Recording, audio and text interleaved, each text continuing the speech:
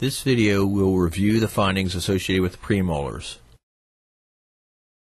The first tooth we're going to look at is a mandibular first premolar. The mandibular first premolar resembles a canine in that it has a large buccal cusp and a very short lingual cusp that kind of resembles a cingulum.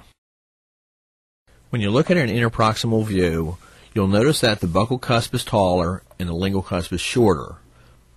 You'll also notice that the buccal surface is curved and the lingual surface is either straight or leans to the lingual.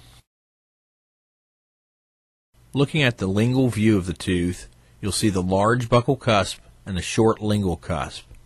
You'll also see the mesial lingual groove, which is what I call the knife mark. To identify the mesial of the tooth, let's take a look at the occlusal view. There are two ways to identify the mesial of this tooth. The first way is to locate the mesial lingual groove or the knife mark on this tooth. Another way to identify the mesial is that the mesial marginal ridge is narrow as compared to that of the distal. If you also take a look at the mesial, you'll notice that the mesial marginal ridge is set at an angle as compared to the lingual surface. So, do you know which tooth number this is? The tooth being shown is tooth number 28. Let's now take a look at the mandibular second premolar. When looking at the occlusal outline of a mandibular second premolar, you're going to notice that the outline is round or square. When looking at an interproximal view, you're going to notice that the buccal is curved, the lingual is straight. You'll also notice that the buccal and the lingual cusp are about the same height. The mandibular second premolar can have a variation in the number of cusps that it has. It can have two cusps or it can have three cusps. If there are two cusps, there is a buccal and a lingual cusp. If there are three cusps, there are a buccal, a mesiolingual, and a distal lingual cusp. To identify the mesial on this tooth, the mesial marginal ridge is taller. On a two-cusp variation, you will also notice that the lingual cusp is leaning or closer to the mesial.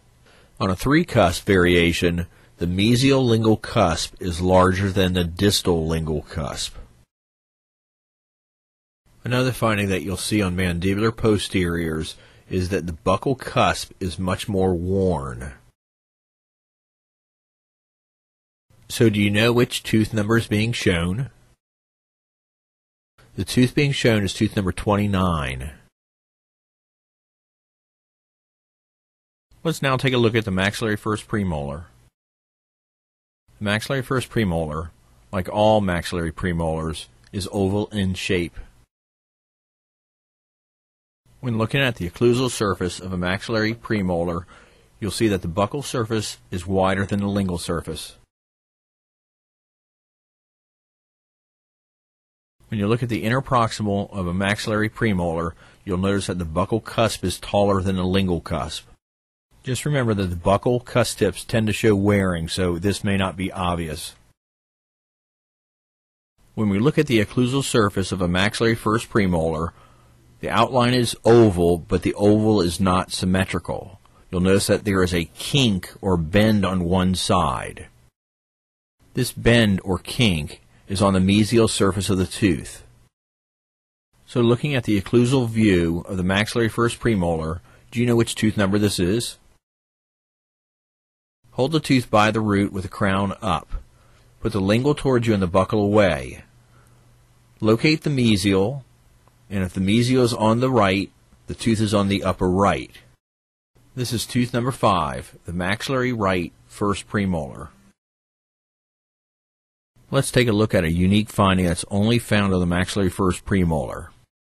Looking at the mesial interproximal surface, we'll see the mesial developmental depression. The mesial developmental depression is only found on the maxillary first premolar and it's located below the contact on the mesial side. This depression is concave in nature. The last premolar we'll look at is the maxillary second premolar.